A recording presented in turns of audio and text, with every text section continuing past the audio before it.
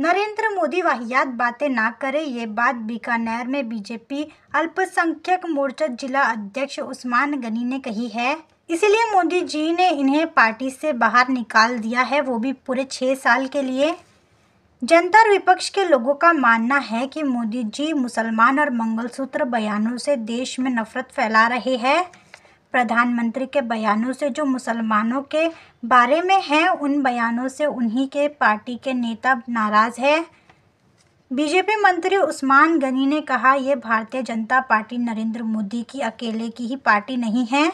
BJP से सैकड़ों मुसलमान जुड़े हुए हैं। बीजेपी नेता उस्मान गनी का कहना है कि, जब चुनाव के दौरान हम वोट मांगने जाते हैं तो मुसलमान हमसे पूछते हैं कि ये क्या है प्रधानमंत्री हमारे बारे में क्या क्या बातें कर रहे हैं?